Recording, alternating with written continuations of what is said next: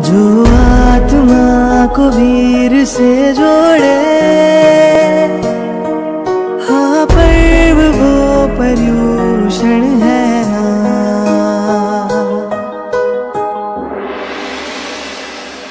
सभी को संवत्सरी महापर्व की बहुत बहुत हार्दिक शुभकामनाएँ।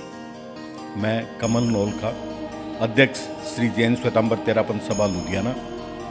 District vice president, Ludhiana Bharatiya Janata Party, आप सभी से क्षमा याचना दिवस पर सरल हृदय से, सरल मन से, अंतःकरण से क्षमा याचना चाहता हूँ। आप मेरे को सभी क्षमा प्रदान करेंगे।